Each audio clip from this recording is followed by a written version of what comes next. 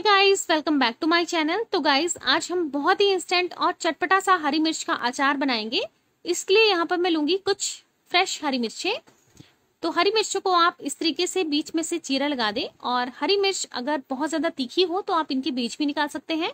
तो इस तरीके से मैंने सभी हरी मिर्चों को बीच में से चीरा लगा दिया है और अब हम इसमें ऐड कर देंगे नमक अकॉर्डिंग टू टेस्ट और थोड़ी सी हल्दी, लगभग आधे चम्मच से भी थोड़ी सी कम हल्दी मैं इसमें डाल दूँगी।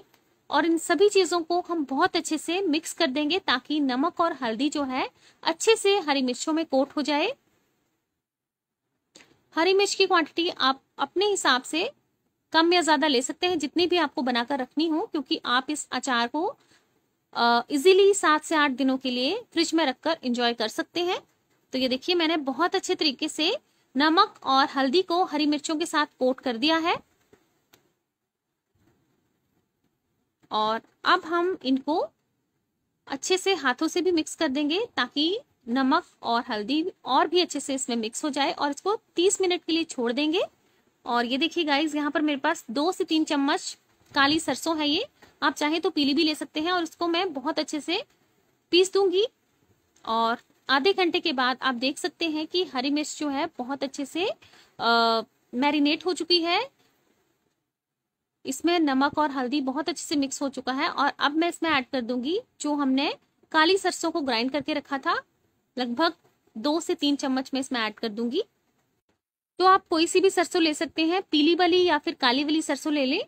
तो इस तरीके से सरसों को भी हम बहुत अच्छे से हरी मिर्च के साथ मिक्स कर देंगे और अच्छे से इसको हम मिर्च के साथ कोट कर देंगे। तो गाइज़ ये वाला जो अचार है, ये बहुत ही इंस्टेंट है और फटाफट से बनता है। आप इसको सात से आठ घंटे के लिए बाहर छोड़ दें। उसके बाद आप इसको फ्रिज में रखकर लगभग सात से आठ दिनों के लिए एंजॉय कर सकते हैं और बहुत ही टेस्टी बनता है। तो गाइज़ जो काली वाली सरसों है, वो बहुत अच्छे से इसमें कोट हो गई है। अब इसमें डालूँगी लगभग दो चम्मच नींबू का रस। तो फ्रेश लेमन लें और उसका जूस निकाल कर इसमें डाल दें लगभग दो चम्मच। और इसको भी हम अच्छे से मिक्स कर देंगे हरी मिर्च के साथ। तो हमारा हरी मिर्च का इंस्टेंट अचार बिल्कुल रेडी है। आप इसको पराठों के साथ या फिर सब्ज़ी के साथ एंजॉय करें। बहुत ही टेस्टी लगता है। और इस तरीके से आप इस मिर्च को बनाकर फ्रिज में रखें और सात से आठ दिनों तक आप इसको एंजॉय कर सकते हैं। और इस मिर्च से आपके खाने का टेस्ट जो है वो और भी ज़्यादा बढ़ जाता है।